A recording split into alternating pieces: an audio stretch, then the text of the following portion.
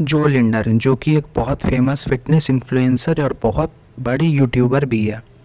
उनकी मौत हो चुकी है, जो कि एक बहुत बहुत विश्वास ना करने वाली बात है दोस्तों। तीस साल की उम्र में उनकी मौत हो चुकी है। उनकी मौत का रीज़न था दोस्तों, उन्हें ब्रेन हेमरेज हो गया था। उन्हें ब्रेन हेमरेज के कारण उनकी मौत हुई है। ये